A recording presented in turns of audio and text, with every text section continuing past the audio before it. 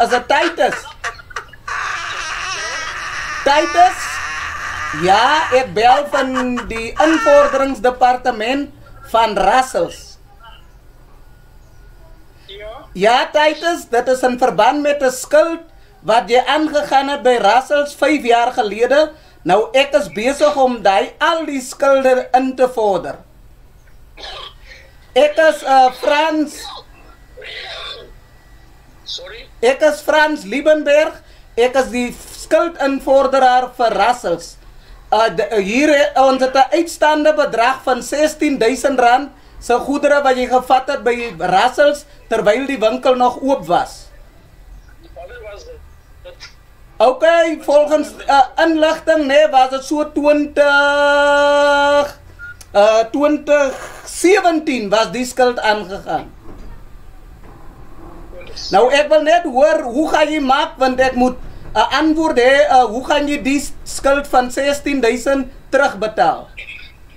Wanneer kom jy jou dokumente laat ek sien? Ek wil eers kyk wat dit wat jy sê. Hoor jy my wat sê ek? Hoor ek het jou teen volle adres. Dis waarom ek jou uh, reeds bel om te hoor wanneer wanneer kan ek dan 'n tyd afvaardig of schedule om na jou toe te kom? Wanneer jy kan enige tyd kom. As jou adres nog pre presies dieselfde. Maar wat jy is daarvoor hier? Uh my adres wat ek het is 47 uh Saliestraat uh uh uh Flipstown. Nee, meneer, jy is heeltemal. Ek weet nie wat die woord sou. Ek nee, ek ken nie sulke adres. Kom na my toe. OK, want uh, want dit is u wat ons het op die skuld. Uh dis waarom ek wil ons moet 'n ooreenkoms bereik hoe jy hierdie skuld gaan af uh dinge se manier uh dan kan ons uh, afbetaling reël. Ek reël die betaling sien. Ek reël dat jy vir my moet kom sien. Dis wat ek sê. Ek reël moet betaling sien.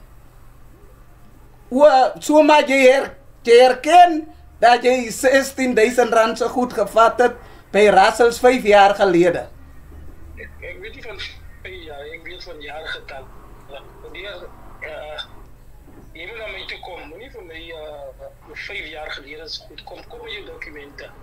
Dat ons kan praat. OK dan meneer, dan uh, ek is dankbaar vir dit. Dankie vir jou uh uh geduld en uh jou gesindheid. Ek hoop dat ons hierdie bedrag sal vereffen en dat ons 'n ooreenkoms gaan bereik dat ons hierdie 16000 vir eens en vir altyd van die boeke afkry. Gee weer my adres vir my wat op jou boeke staan.